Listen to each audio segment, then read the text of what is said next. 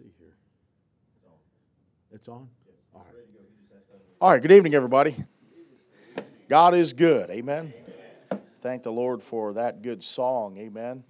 Uh, it's, it's, it's an odd thing when you've preached for 25 years that Jesus is coming and you try to convince people that it could be tonight, and then all of a sudden, uh, you, you find your own faith just tested and everything because when all this corona deal came down, I don't think any of us really thought that they could take over and force people to do things just as fast as they did. And it was all over the whole world at one time. And even guys like us who preached it for 25 years, uh, I stood back and said, Man, I believed it, but I don't know if I really believed it. Like it could really happen in our lifetime. I mean, that's how close we are. Um, you know, like the things I said, uh, maybe I was trying to convince myself as much as everybody else to believe it. I don't know, but man, is it real? Uh, then when the Michigan governor said seeds are off limits, I mean, I've preached that for years. We wonder how Antichrist is going to control the food when you have to have a mark to buy or sell. And uh, we know that Monsanto has had control of seeds and they're genetically modifying and patenting them, and they own the seeds of the world. And uh, so there's just a lot that's happened. That song is just so pertinent tonight. Amen. I think I really believe it more today than I've ever believed it before that Jesus could come at any moment. Amen. And uh, it's, it's a little scary, uh, but you know, for those of us that are saved by the grace of God, we have nothing to fear. Amen. Uh, people have, I, I think I irritate people. I'm so non fearful about the coronavirus. I don't know. I just. I'm trying not to be ornery about it, but I mean, there's perfectly healthy people in their 20s that are kind of huddled down in their homes and haven't left for months. And I'm just sitting here saying, What in the world has happened, man? Uh, at some point, I mean, you got to go out and live your life and do right. So, Anyway, enough about that. All right. A lot of things I've been asked to do tonight. Amen. And so uh, he's asked me to do a miracle. First of all, preach in under an hour and then add everything else on top of it. Let me just say, I, I really, it's a blessing to see some of you folks I've known for years. And uh, it's a blessing to see others that I haven't uh, got to meet yet. But uh, it, it's just great to see what God's doing here. Preacher's been sharing some things, and I count your pastor a dear friend. We don't talk as much as we should, but uh, he knows I'm steeped in busyness, and he is probably one of the busiest people I know that runs that he makes me mad because he has so much energy amen i can't wait till he hits 50 and starts slowing down and stuff and i just be like i told you it was going to happen he's like the energizer bunny amen he's got so many irons in the fire but you got a man uh, at the helm here that god has put here i believe that really uh, wants to serve the lord it's neat to see with things that God's doing. I was uh, going to try to come early, but worked out better for me to stay tonight for a while. We're going to run around, and he's going to try to show me stuff that God's doing in the church building and all of that. I told him he had to have it done by the time I got here. Apparently, he didn't listen. Amen. But uh, I'm excited about seeing everything that the Lord is doing. God is certainly at work. Amen. And I appreciate His goodness. Uh, I don't. I, I was going to put some of my tracks out. I have just a few of them with me. Uh, from the Grateful Dead to Gratefully Alive. I think I've got more in this container up here, but uh, I was a Grateful Dead head, and God gloriously saved me out of a life of drugs and a life of uh, jail. I met several jailers, and uh, I know what it's like to see my mama weeping through the jail bars when I wake up out of a drunken stupor, fighting the cops and throwing a fit at the hospital, wanting to take a blood test and just things like that. And uh, seeing mama weeping through the bars saying, When are you ever going to get right? When are you ever going to get saved? You know, and things like that. But I'm glad tonight that I'm saved. Amen. And uh, so I know where I know where some of you guys have come from. Some of you guys are facing some issues in your life. Uh, let me tell you what, you give your life to the Lord more and more, and God will do miraculous things with you. Amen. I just never would have dreamed God would be able to get any use out of my worthless life. Amen. But I'm so thankful that He has. He's a good God, and He loves us and cares for us. Um, a lot of things I was supposed to do tonight. Let me just try to do this real quickly. Uh, on the books, um, here's what I'm going to do, preacher. I'm going to try to. Uh, realizing that, and I'm not sure who would be even interested or not, but This is going to sound really kind of stupid, but I actually have to pay for these books. Amen. Uh, I've been in churches where people help themselves, and then I have to actually pay the bills. Amen. But uh, I'm going to I'm going to take 25% off of everything that I have in here. Like for example, the American Foundations book. If you just want a great simple read. Uh, it's about 115 pages. It tells you the history of America and how it became great through the influence of Baptist churches. That's normally $8. I'll sell that for $6 tonight. Um, and then Uh, the Waldensian book, that one is uh, $12 and uh, I'll just sell that for eight tonight, so that'd be thirty-three percent off or a third off of that one. And so I'll just uh, I'll try to do that for everything that I have. And uh, there's several other books. I do have the final booklet of the series done, and so I do have some of those sets of booklets like these right here. And see if I can find one. Here's the set. This is all ten booklets and uh, this is normally forty dollars. I'll just sell that for like maybe thirty-two because I think I'll probably still lose. I'll lose money on that, but I'll do that if somebody's interested in that. And I really didn't come to sell books, but he said to mention something about it, so I do want to try to be a blessing to you if I can. And so, if you're ever wanting to buy books and maybe give some away even as a present for a birthday or Christmas, now would probably be the time to buy them, amen. Because the sale's over as soon as I leave here tonight, amen. Uh, but anyway, I have about a $1,500 book bill I need to pay off, so I'm trying to sell some books, amen. But uh, that being said, I didn't come for that. Amen. Uh, and uh, I was telling your preacher, I've done so many Baptist history tours. It's so weird this year because we didn't have a spring tour. And I'm driving by cemeteries, and it's like, man, there's like this weird drawing to go walk around a cemetery with a bunch of fat Baptist preachers, you know, a chicken, you know, still on their face from the restaurant, and just go lecture on some dead guy that did something for God. Amen. I mean, honestly, it's just, it's really weird. Uh, I almost drove down to Lewis Craig's grave the other day. It's like, man, it's like 65, it's breezy. I'm like, I should be in a field somewhere, tears streaming down my face. Amen. With somebody preaching, uh, standing around a graveside. Amen. And so, uh, it's just been really weird, uh, different year this year. But uh, we are planning on doing a, a, European tour next year if God allows us. If not, we're going to try to move it. Uh, the travel right now is really weird. I've got friends, like my daughter married into Brother Rocky Fritz's church there in Illinois. His son, uh, they're in uh, Cape Verde, which is an island off of the western part of Africa and they were going to come home three months ago. They're stuck. They're literally like locked down. They can't even get to the mainland of Africa to try to find a flight. And uh, so a lot, lot, lot of stuff like that's going on. So I'm not sure how all that's going to work out, but do pray for the society. Uh, we just did give a $1,250 offering uh, to the particular Baptist Press uh, in the, as an honorarium. Uh, for uh, Brother Terry Wolever. Brother Terry Wolever was a premier historian and uh, wrote so much that we've all benefited and gleaned from. And uh, so we wanted to try to do something just in his memory to be a blessing to the press there. I want to see it go on. He has about 900 pages. we've benefited from other guys uh, Morgan Edwards had an unpublished uh, biography and different ones like that. And he has 900 pages of Baptist history. That he was to he was writing a book, and he died with 900 pages uh, on a file. And they're going to try to maybe publish that down the road. And so we'd like to also be a, uh, try to be a part of that. But I don't want to get into all the extra peripheral ministries I've got, amen.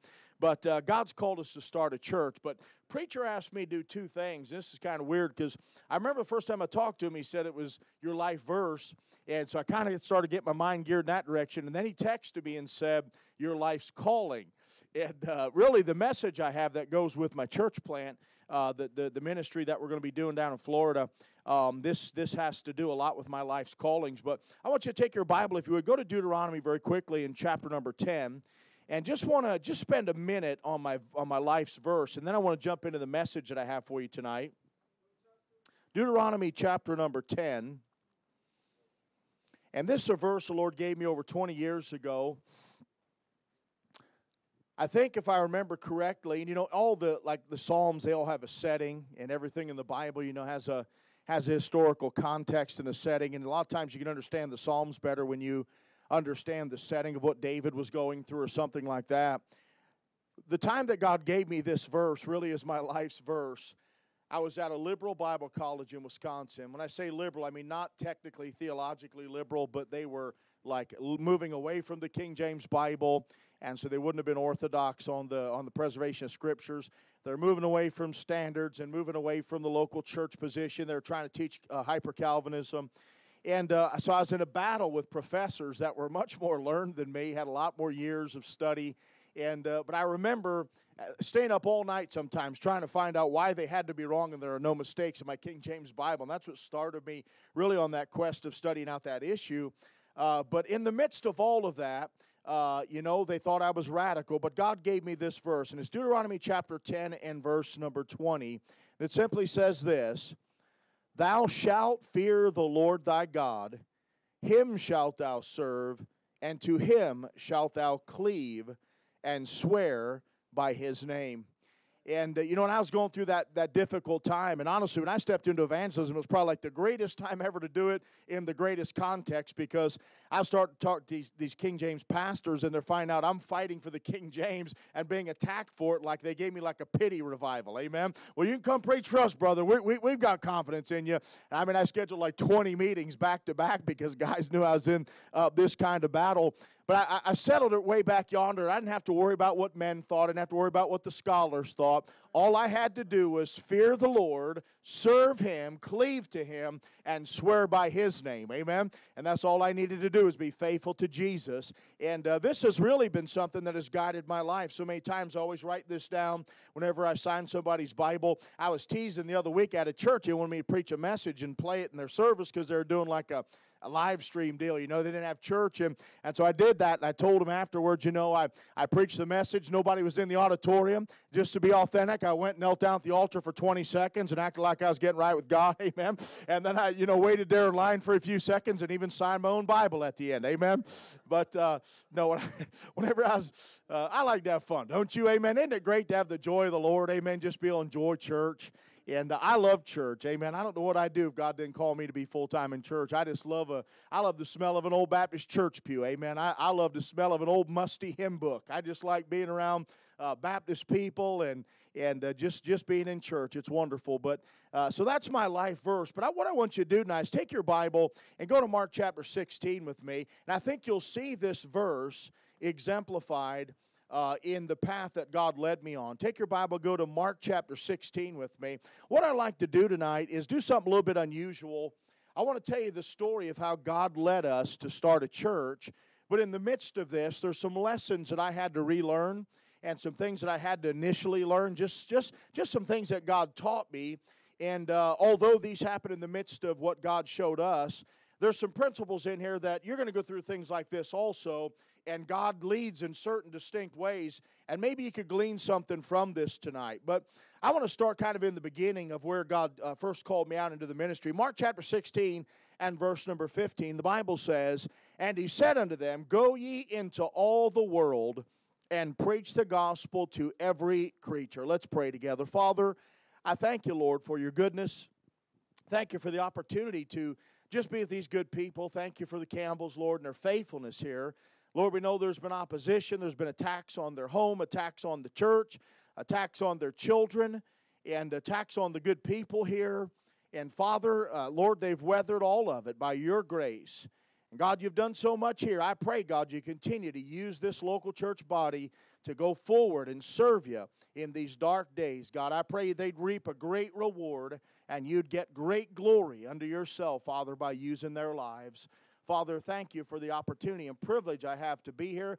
I would rather be here than anywhere else in the world tonight in the perfect will of God.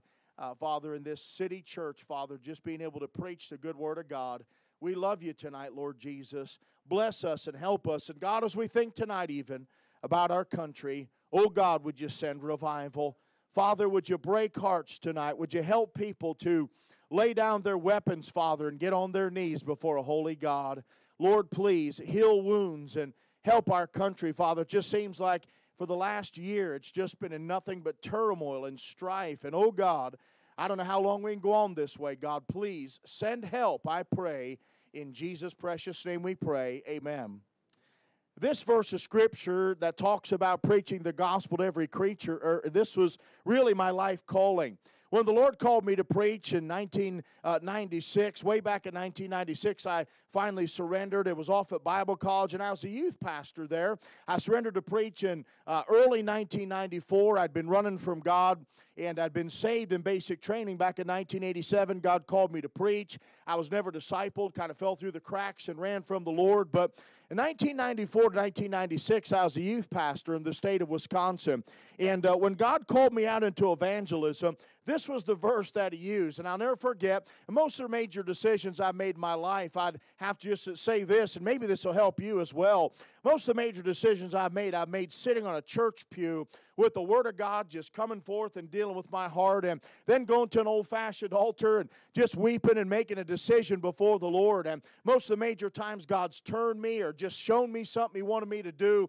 All of that from, you know, who to marry as my wife and, and call me out into full time evangelism. Just most of the major decisions I've made under the preaching of the Word of God. But I distinctly remember God showed me this verse. And I remember at that time, my mentality was this if I'm going to go out and preach a gospel to every creature, then I'm going to give God everything lock, stock, and barrel. As I mentioned, uh, I just recently was witnessing to some fellows and sadly had to tell them I went to 55 Grateful Dead shows. I went to all different other kinds of hippie concerts and lived in 100,000 screaming people, living in a Volkswagen bus and in the back of a pickup truck and in a ditch or in a flop house or wherever it was, selling drugs and tie-dye t-shirts just to try to make it to another show. And uh, But I remember I, I lived lock, stock, and barrel for the devil. And I just believe that when God saved me by his wonderful grace, there's no reason he ever should have saved a filthy dirtball like me. I just believe that when you serve God, you ought to serve him lock, stock, and barrel. Amen. If you've lived for the devil, and I know a lot of you in here have a similar testimony or one like my testimony.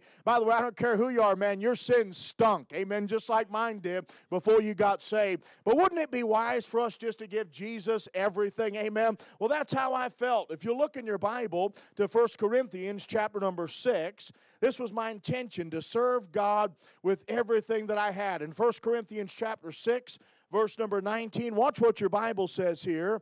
In verse number 19, the Bible reminds us, What? Know ye not that your body is the temple of the Holy Ghost, which is in you, which you have of God. Now, watch this. Ye are not your own. Look, friend, you say, Well, I'm going to do this, I'm going to do that. Have you checked with God about that? Amen. Because we don't even own ourselves. He bought us, and the Bible said, For you're bought, but not just bought with filthy lucre, with a price. That price was the precious blood, the perfect blood of the darling Lord Jesus. And he says, Therefore, because you don't own yourself, God owns you. Because you've been bought by the blood, glorify God in your body and in your spirit, which are God's. And so I always believe that when God bought you, He owns you, and you ought to give everything to the Lord. Well, here was my problem in 1996. Maybe you can relate to this. How do you become an evangelist? How do you go out on the road and do and get meetings and preach and all those things that God was calling me to do? I kind of had a comfort zone there working with the youth, and I had a nice job, and everything seemed to be going along fine till God came and disrupted my heart and mind about being an evangelist to America. And so I remember meeting with a guy named John Getch. He happened to graduate from the same school that I did many years prior to that. And I remember sitting down with him. He happened to be a preacher at a camp that I was counseling at back in 1996. And I sat down with him and I began to ask him some questions.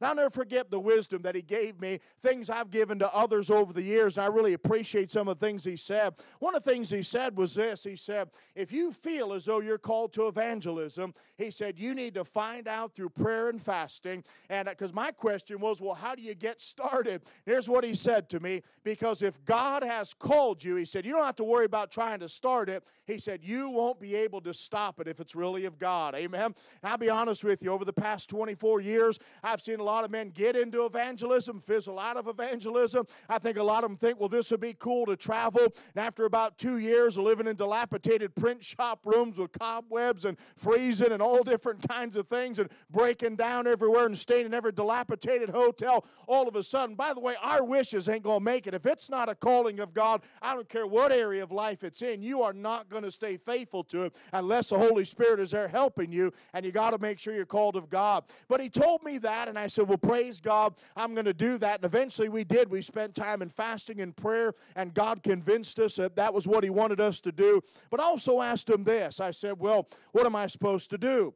Travel around in a car, stay in people's houses. Well, that didn't work much for us because we actually believed in biblical discipline. Amen. It's kind of hard to rear your children. There's modesty issues when you stay with people in their homes all the time. We found out that wasn't going to work for us. We found that out real quick. If we wanted to have our family in order and raise a family for the Lord Jesus Christ, uh, which by God's grace we've been able to do to this point, we need to have our own place. And so he said this to me, though. He said, Where your treasure is, there will your heart be also. Now, I don't know how you take that, but I took it this way. That means if I'm going to be on the road and that's where my heart is, then I need to take all my stuff with me.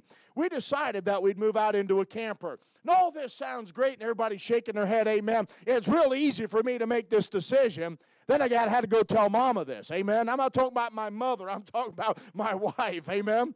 Hey, honey, uh, we're going to move out on the road and sell all this junk. Wait a minute. You mean all the stuff we just uh, bought, we just got from our wedding? You mean the stuff still in the boxes? I mean, we had just been married when all this stuff happened. I never forget it. My wife just bought a nice country sofa. Uh, you know, that was back when country sofas were cool, man, in the early 90s. And, but we just set up shop, and most of the gifts were still in boxes. And she said, What are we going to do? I said, Well, we're going to sell all this stuff we're going to give the rest away. We're going to leave the rest sit in this apartment or throw it in the dumpster, and we're going to move into a camper and go across America preaching. And uh, praise God, God dealt with her heart. She hit an altar one day and settled it, and that was the end of it. We did just that. We sold everything that we owned. A lot of stuff was still in the boxes. We reduced it, had another extended sale, threw the rest in the dumpster, moved out into a camper. Now you can say hoorah right there.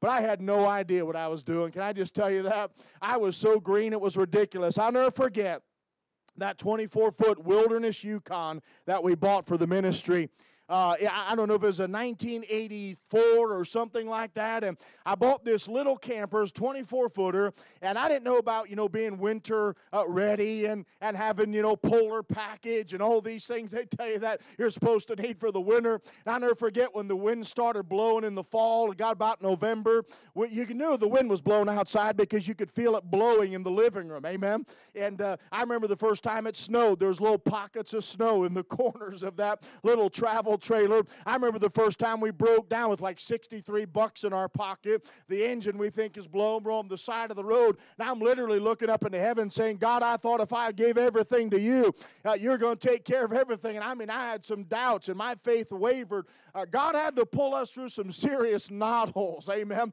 for a lot of years to bring us to the place where we are today. But my philosophy of the evangelist, though, was a little bit different than some guys. And I won't fall out with you if you have a little bit different different viewpoint, but I believe that Philip, of course, the Bible calls him an evangelist. Nobody would argue that Philip wasn't an evangelist, but I am to believe the Apostle Paul, although he was in the office of an apostle, he also acted in the office of an evangelist. He, he was one that went and proclaimed the gospel and started New Testament churches. But as I look at these two men, take your Bible, for example, go to Acts chapter 8.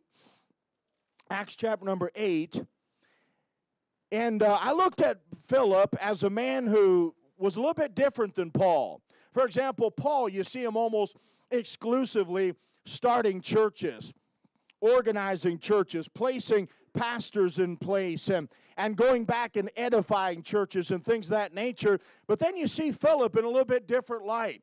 Now, admittedly, the Bible doesn't give us much information about Philip, but we do know that he was there helping in the midst of a revival, preaching, discipling, counseling, talking to people. Then we see him caught away just to win one person to Jesus Christ. Nobody on this earth can argue that wasn't of God. God called him out into a desert to see one man, give him the gospel, see that man saved, and then the Bible says he's caught away from there by the Spirit of God. So that was what God had for him at that time. Then in Acts chapter 8, verse number 40, if you'll notice, the Bible said, But Philip was found at Azotus and passing through, he preached in all the cities till he came to Caesarea. Seems to me like he wasn't there to stay a while, to establish a church, to gather people, but he preached maybe where others had preached. He preached maybe where there had been no one to preach before. But his ministry, I feel like, was a little bit different than the Apostle Paul's. Take your Bible, go to 1 Corinthians and chapter number 12.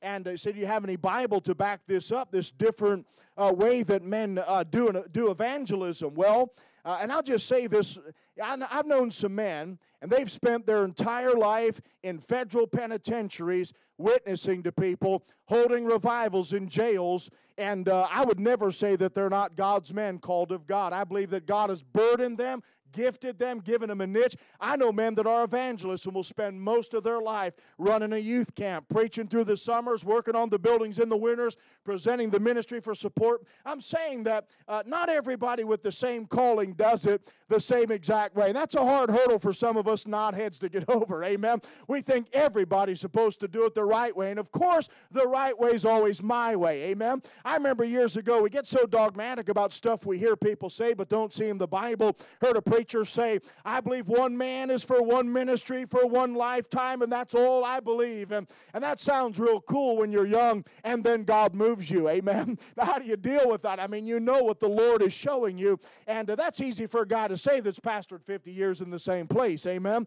But notice in the Bible, 1 Corinthians chapter 12, and look at verse number 4 with me. The Bible said, Now there are diversities of gifts, but the same Spirit. So God hadn't gifted us or called us all to do the same thing. Amen. But the same Spirit of God has got something for you, has got something for me, has got something for everybody. Thank God for that. Verse number five, and there are differences in administrations but the same Lord. So that's two people with the same gifting, possibly, but administrations, that literally means the way you administer it or minister what it is that God has gifted you with and given you.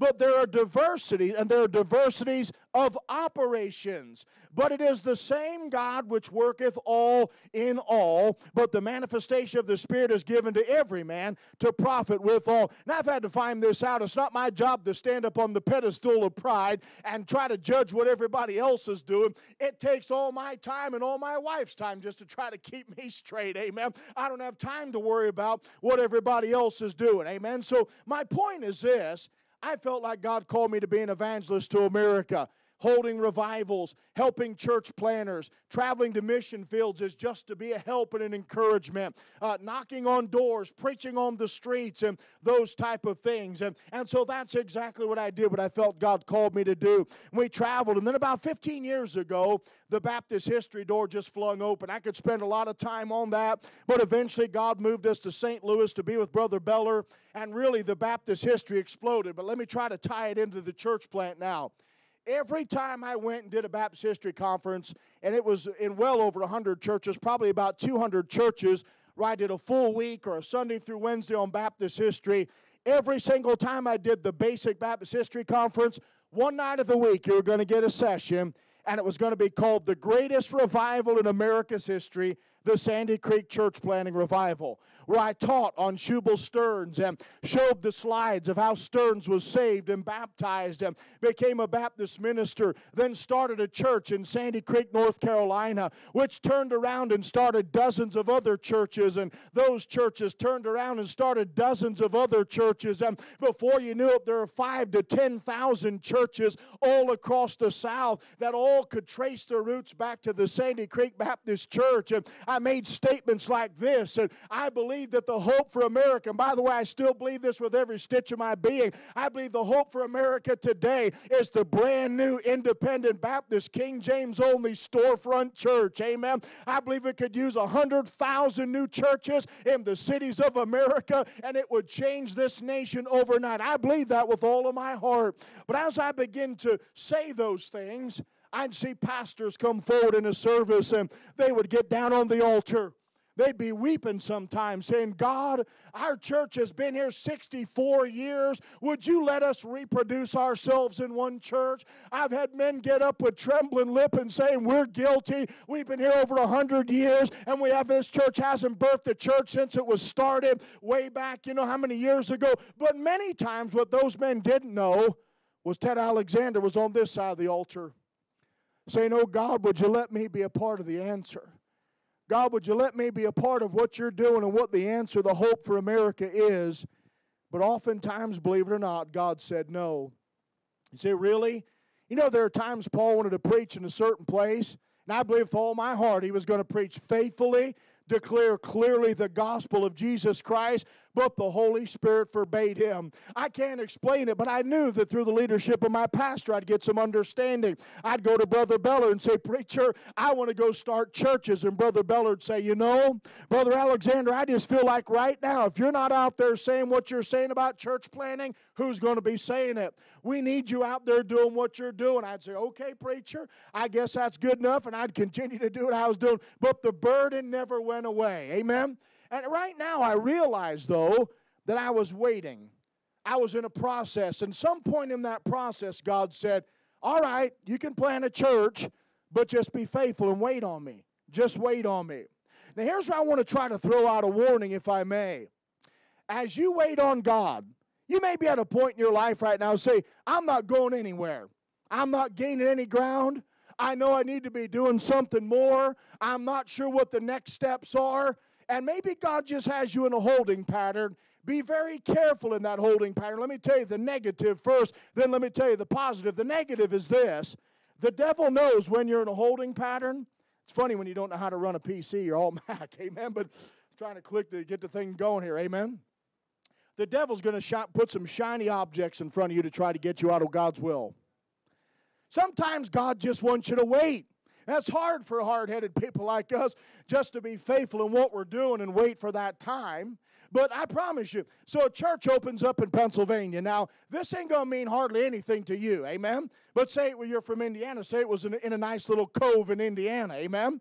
But I'm talking about Roaring Spring, Pennsylvania, literally dozens of springs gushing out of the mountainsides white-tailed deer bouncing all over. Only one knows it's there is the Lord. Amen. Just a few dumb Baptists. Amen. But anyway, uh, they, they called me right away. Say, hey, we need a preacher. Now I thought, man, Lord, I'd go there, man, we could have a nice little house. Haven't had a house with a roof on top in over 20 years. And I thought, man, we could kill some white-tailed deer and just pastor a nice little flock there and bring them to perfection in Jesus and just serve the Lord. God said, nope, not for you. But Lord, I love them little mountains of Pennsylvania. Church in Canada calls me. I'm in a waiting pattern and the devil's trying to get me. And I'm going to tell you what, just doing something for God is not the goal. Doing the perfect will of God is always the goal because the devil always has a second best and a third best and another plan that you may think looks more lucrative. I give you an example. I had a church, and I won't tell you where it was at, but Nonetheless, they contacted me and told me they were going to buy me with the equivalent of a $350,000 home to move there as their pastor. They're going to buy me a brand new church van to run for myself. They're going to buy me a new cell phone. Now, I mean, buddy, I don't know why this is, by the way, preacher, but every time there's money involved, God always says no to me. Amen. I don't know if it's just because I wouldn't know how to handle it or what, but uh, but literally, they offered me that to come be their pastor with the same doctrine. I've known the people for years. God said no. I had a church call me from Lubbock, Texas, where E.L. Bynum used to pastor. The pastor at the time down there, Brother Sargent, contacted me, and after I told him a hundred times God wasn't in it, he convinced me to come down and just hold the pulpit for a Sunday while we're down there. Hey, go look at some houses while you're here, and that kind of thing. New development, new homes. I mean, honestly, the doctrine was the same. I sat down, talked to the people. They liked us. We were compatible, and God said no before we ever even left to go there. What are you trying to say? Be very careful when you're in a holding pattern, when God is ready for you to go forward. And you say, well, that's not a big deal. I'm going to say this is a big deal on following God the rest of your life. Amen. You better not straggle behind, but one of the dangers all of us have is we're too gung ho and we run way out ahead of God. Amen. Look in your Bible to 2 Samuel. Now, there's a passage here, and you know it's interesting? Is the Lord began to show me this after the fact.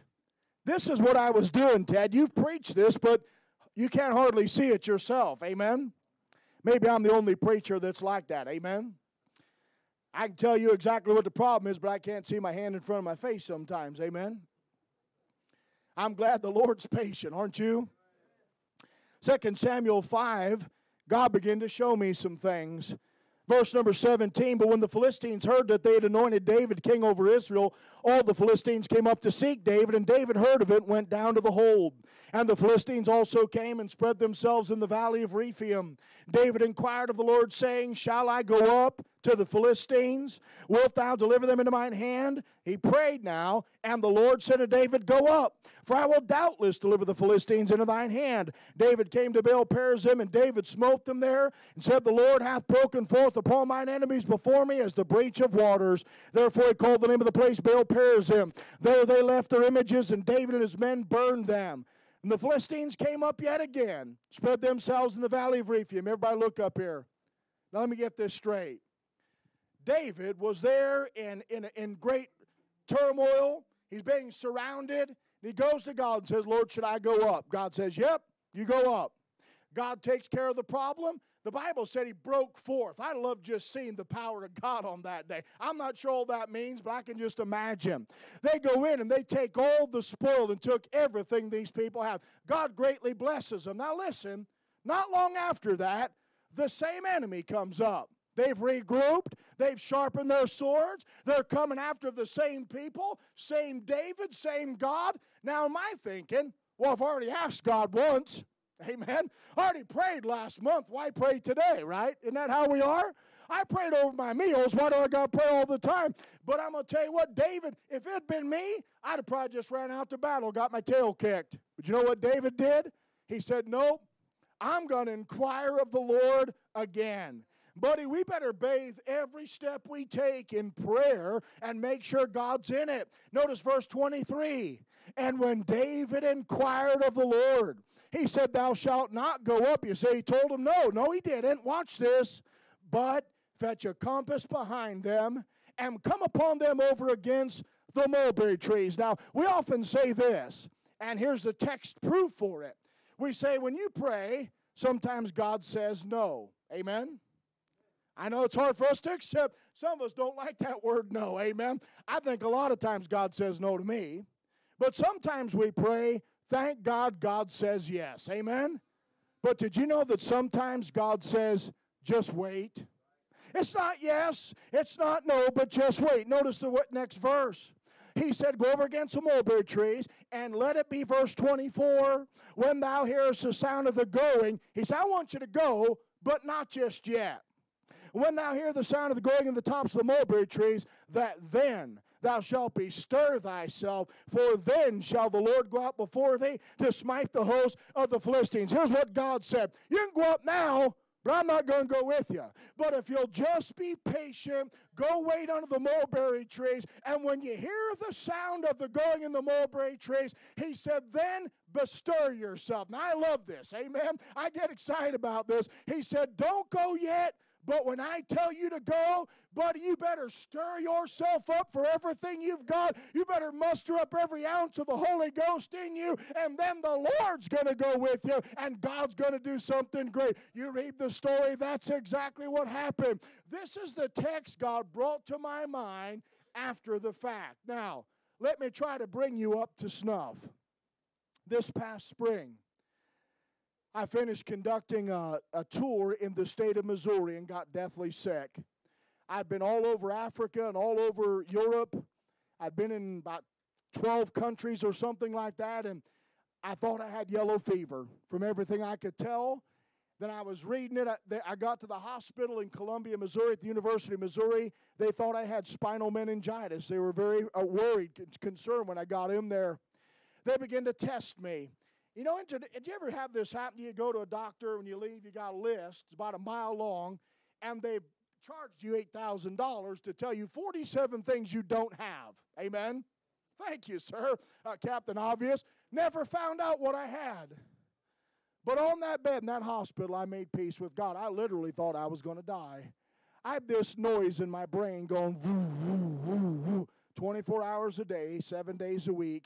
I couldn't lift my head up. I lost all my strength. I literally thought I was going to die. I got out of there, and just perchance, Brother Aaron Roderson, I was in his church preaching a meeting on the blood of Jesus. I preached Sunday morning. He actually took my PowerPoint, preached the rest of the meeting. Somewhere that week, he asked me, Preacher, is there anything you can think of? He said, and he mentioned my teeth. And I said, Well, you know, brother, I had an infected tooth. He said, Well, did you ever deal with it? I said, No, actually, I was too busy to deal with it. And I know that sounds terrible, but I was literally so pressed in ministry. I got back from Europe into Chicago at midnight, got in a car, drove all night to Detroit to preach. That's my schedule sometimes, is just, I, and I'm killing myself. And I went into the doctor.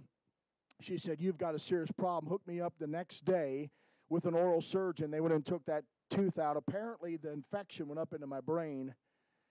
And for six weeks, I was down. It took like five days for the antibiotics to start turning me around again. I was literally just laid out, crawled to the bathroom back a couple times a day, and that was basically it.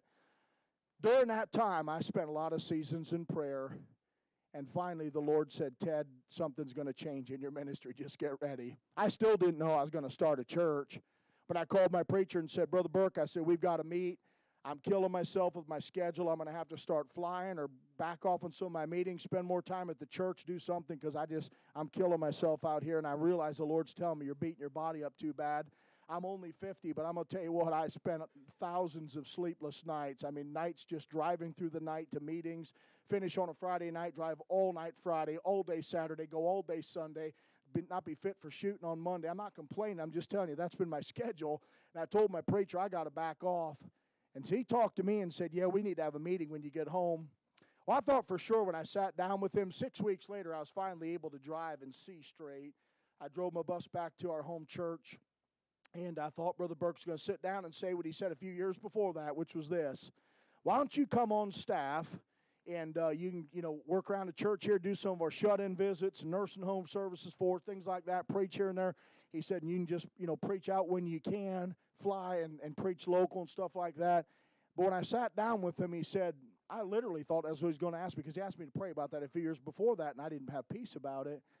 But he said, Are you sitting down? I said, Yeah, we're sitting in a skyline, by the way. Can I at least get an amen right there? I haven't had too many tonight. Amen.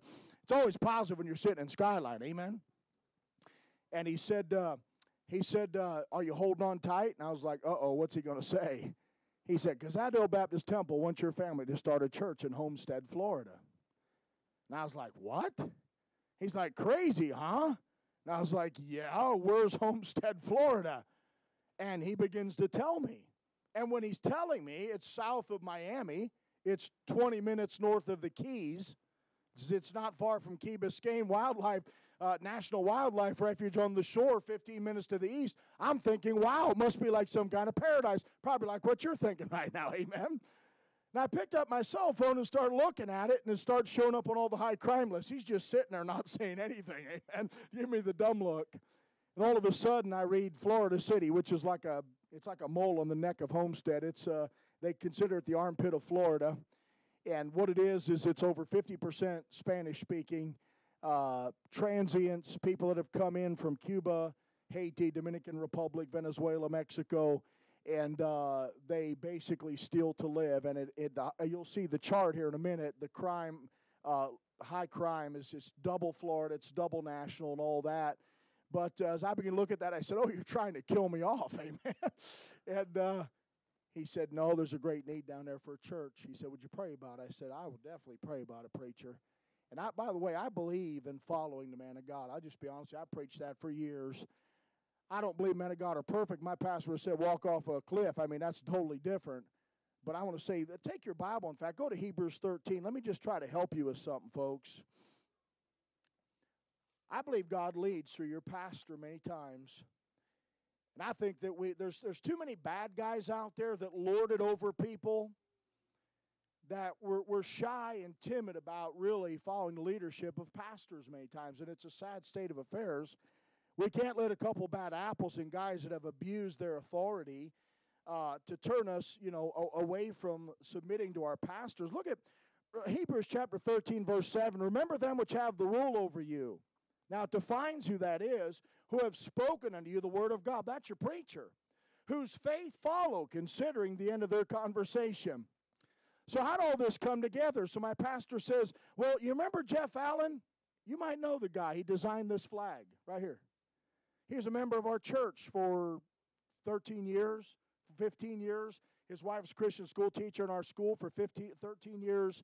They moved down there for a really good job. There's a decent church when they got there. It fell through. They've been in a couple others, but really nothing that you and I would really feel comfortable being a member of without getting into bashing, you know, their doctrine and things that nature. But there's Calvinism and bad music and all that kind of stuff. But uh, he said, you know, Brother Jeff's been contacting me still. they're praying for a church down there, and you're contacting me, telling me what's going on with you, that you need to back off from the road. And God just said to me one day after I prayed for him and prayed for you, Well, there's the tool that you need to just go do the job. He's your local church evangelist. And I said, Wow. Now, I'm going to just be honest with you. If that would have come from a lot of people, I'd have been like, uh, yeah, right. But my man of God has been faithful. He has just, I mean, loved God. He's not always over here, then over there. He's just walked a straight line and followed the Lord Jesus. And the Bible says, whose faith follow, considering the end of their conversation. Then look at in verse number 17 obey them that have the rule over you. Say, yeah, but you're a minister yourself. Yeah, but I have a pastor. I'm a local church evangelist under uh, uh, the tutelage and leadership of my local church pastor. He says, For they watch for your souls as they that must give account, that they may do it with joy, not with grief, for that is unprofitable for you. Not to get into parsing these verses, we could really spend a lot of time on them. He said, Would you just pray about it? I said, Preacher, absolutely. If it's coming from you, yes, sir. And all of a sudden, I thought I was going to get red light like Pennsylvania. Nope, green light. Pray a little more. It's going to be a red light like Canada. Nope, green light. It's going to be a red light like Texas. Nope, green light. And so, what did you do? By the way, let me just throw this out at you Proverbs 3, 5, and 6. Trust in the Lord with all thine heart, lean not to thine own understanding, in all thy ways acknowledge him. He shall direct thy paths. You know, that's cool to quote. It's great to believe, but it's awesome to see God do it in your life. Amen. He is directing our paths because we've trusted Him. We, where else can we go? What else are we going to do? Amen. I don't have the wisdom. I guarantee you that. So, what did you do, preacher? Well, we took a survey trip to Florida in October. Now, it's just us here tonight. Let me tell you why I did a survey trip. Because independent Baptist pastors are going to say, Did you take a survey trip to the field that God has called you to? Amen. I hate that that's online, but it's the truth, and you independent Baptists need to get this right. Amen. But uh, so, but you know what was great? I already knew God wanted me in Florida. And so I was able to get on the plane, just go down there, look around, pray, travel around, orient myself with the area, and enjoy it. Because honestly, I mean, what, what was I going to do? Let that be the determining factor? Oh man, it, it, it's horrible down here. I can't come here. What was I going to do? Do that? Oh man, look, it's really great. It's a wonderful neighborhood and everybody wants to get saved. Would I want to go then? That's crazy. So I prayed and God said, Go. And so I was able to go just go down there and say, this is where God wants us to be. So what we decided to do was to try to do an 18-month deputation. Now, our church is not new at this. We have a church planting missionary in Gunnison, Colorado. And I don't know if you folks know Brother Byron, Brian Roberts. He was Brother Thornsley's cohort out there. They were good friends when they were out there together and such. Uh, Brother Roberts has been out there about five or six years. And I watched him, and I love Brother Roberts, but he went off gun ho, and he didn't have a whole lot of support, and he struggled and has had, had to work 50 or more hours a week every every week, and it's just difficult to start a church that way. It really is. Uh, we have a guy in Mexico, same thing. We have a guy, uh, another guy in Ohio that has started a church and other churches. But um, so I determined, I really prayed about it, and the Lord said, uh, I don't want an open ended uh, deputation. You ever have these guys come through? Well, how long are you going to be on deputation? I don't know. We're in year number four. Then about year five, well, God didn't really, you know, we're not going to go now, you know. So we determined 18 months we would try to get our house in order, sell our bus, which we still haven't done yet, or pay it off, one of the two, amen, and uh, try to back out of some of the meetings because I literally had a full calendar of all kinds of different meetings and such. But immediately we cut that down to 17 months, and right now we cut it back about another month. So what we're going to be doing is moving down there in February uh, we'll pack up everything we have, move down there in February. We're going to have March to be able to saturate the whole area. And then uh, on uh, Easter, Resurrection Sunday, uh, I believe it's April 4th, we'll be starting our first service down there. That'll be our big push and the big, the big uh, deal down there. Um, let me tell you just real quick, and I know this is highly unorthodox. Why am I trying to raise support? Let me give you an example. Um, South Florida is extremely expensive. I don't know what it is around here, but for a three bedroom apartment in a safe area where you're not going to have to dodge bullets, um, you know, and your stuff's actually going to be there when you get back each day, a three bedroom apartment is going to cost us about $1,800 a month. Um, the reason is because it's close enough to the Keys and it's a bedroom community for Miami, even though it's a high crime area. It gets them out of the city. Um, and so basically, you have two classes down there the people that own all the tourism and the buildings and stuff, and then the people floating across, literally, that are sneaking in. And you have a slim middle class of a little bit of military and some other middle class folks that have decent jobs and are charactered and such. And so it is what it is. The problem is, as I was looking at jobs, you know, because obviously if you have to work a job, you have to work a job. You got to do, God's called you there. So I've been looking at different jobs and take like, for example, a forklift operators. I've looked at several jobs I used to do. Um, they'll start you down there uh, less than what I made in 1990 uh, in Harrisburg, Pennsylvania, driving a forklift. So although the rent and everything are through the roof, the pay is just pitiful. Um, so I'm trying to raise some support, and uh, God has blessed us. We're at about fi- uh, at least 50% of what we would need to live down there right now. So we started in October. That's really fast, amen. We were just cruising along, like five out of six churches in Arkansas took us on, you know. Then this Corona Bologna hit, amen, if I can call it that, and uh, it just shut everything down. And so now we're just trying to get back into it. So I was just blessed even to be able to come here. But uh, what's happened since then? Okay, so this fellow, Brother Jeff, down there, uh, let me try to pull a couple things up. Brother Jeff, uh, the guy out of our church that is down there now, um, he's at work one day, and uh, he a guy pulls in to deliver flowers, and the fella is listening to preaching. And Brother Jeff said, Hey, what's that? And he said, Of course, you know, I'm listening to preaching. And he said, uh, What's the deal? Well, come to find out, this fella joined the military, fell out of church, and uh, there it is fell out of church, and he's from a holler in Kentucky.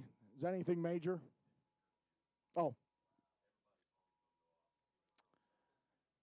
Okay, we'll just ignore that. Amen. We're, we're just we're gonna we're gonna find a place to land this plane here in a second. So brother Jeff uh, talks to him and everything, and find out he's from an old missionary Baptist church in Kentucky. Joined the military, got out of church. Now let me tell you how great this is, and you, this is a glory to God. His wife was out of church, obviously. His children were lost, two little boys, a 10 and a 6 year old, and uh, Tanner and Raylan.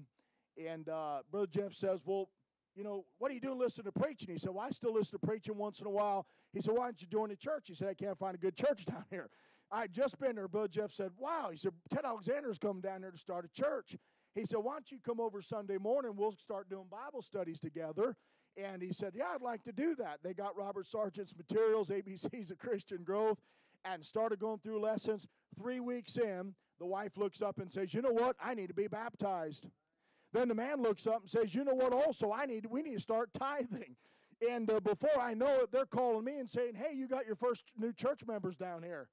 I'm calling my preacher. I'm like, hey, preacher, what am I going to do? I'm not even down there yet.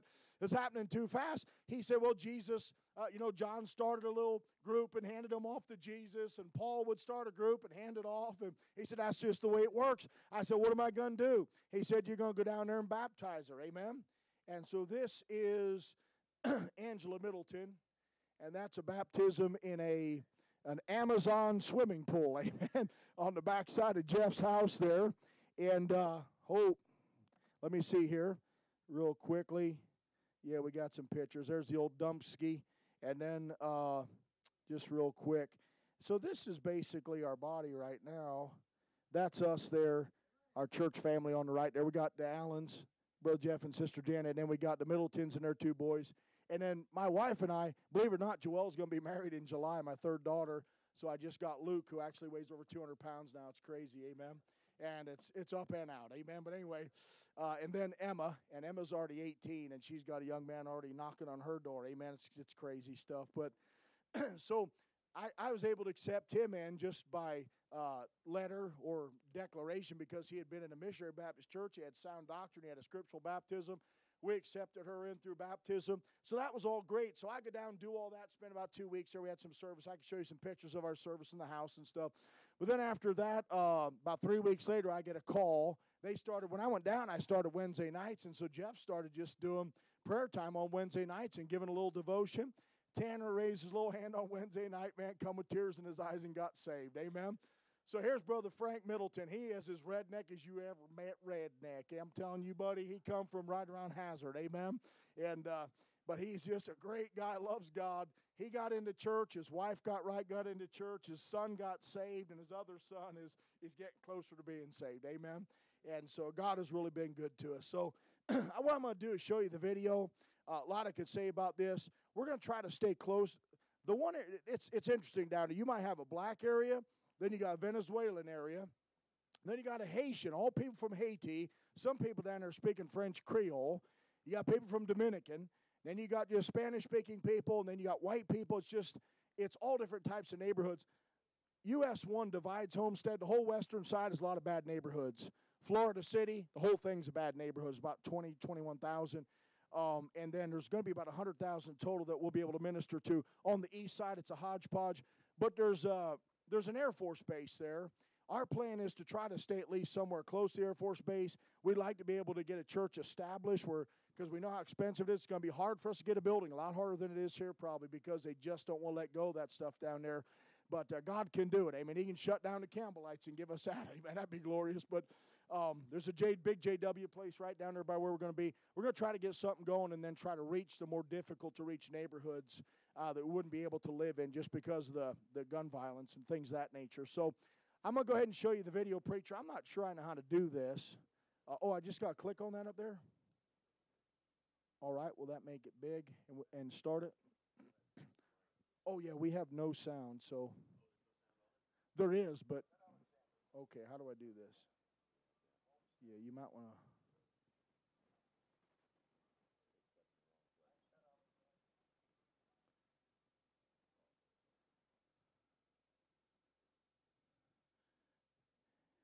Just so you know, I just put a little bit of our display up over there. I didn't put the whole thing out for sake of room, and there's some prayer cards there. If you'd take one of those, please pray for us. I'd appreciate that.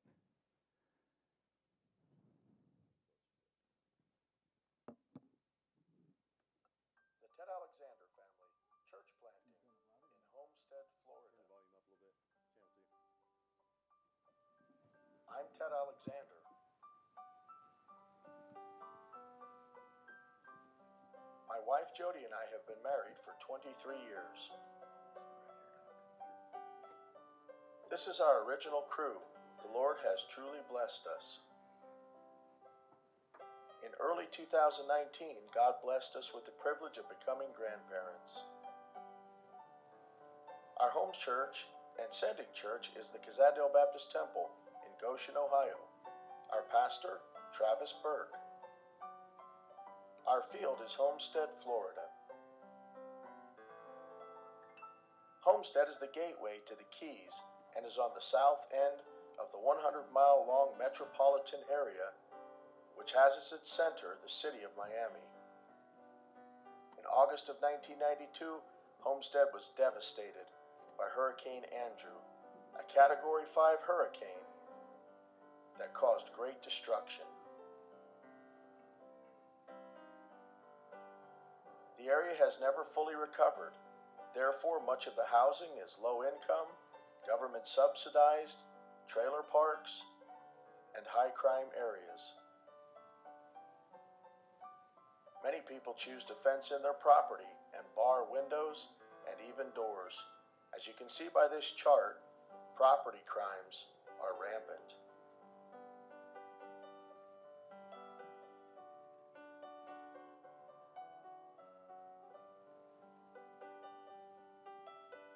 Single parent homes and drugs are common in these neighborhoods.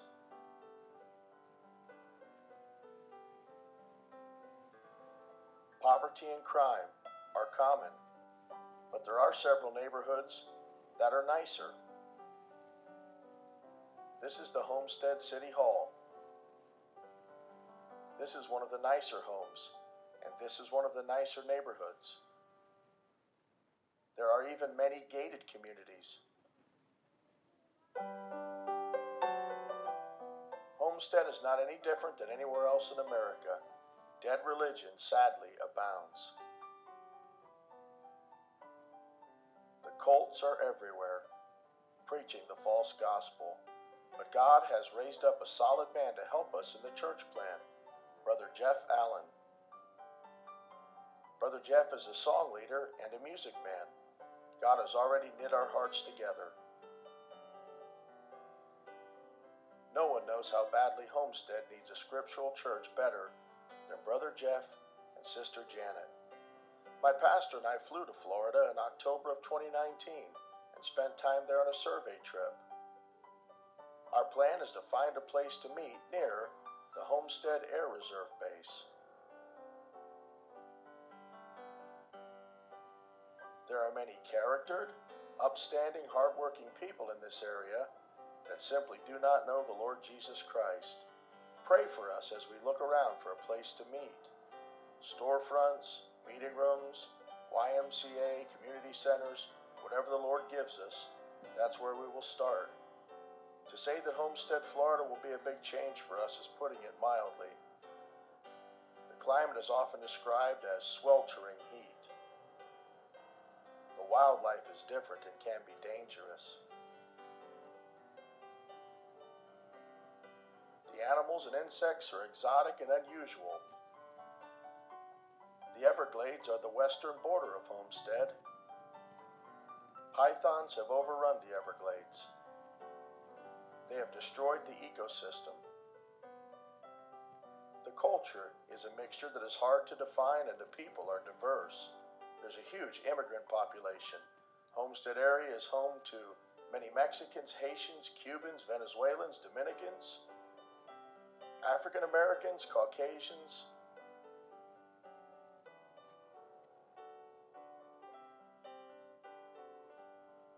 One of our prayer requests is that God will raise up a Spanish speaking translator for us. Brother Jeff is processing this and trying to work towards that goal.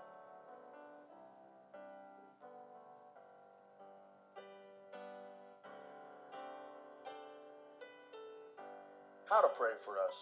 Pray for our family to love God first. We need support in a quick departure. We need a Spanish speaking couple to partner with us.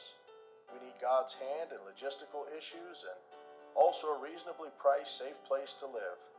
Please pray also, most of all, for fruit from our evangelistic efforts. As New Testament believers, we've been given a commission. Hudson Taylor said the Great Commission is not an option to be considered, it is a command to be obeyed. Please pray and ask the Lord how you could partner with us to help us fulfill our call to Homestead, Florida, that fruit may abound to your account.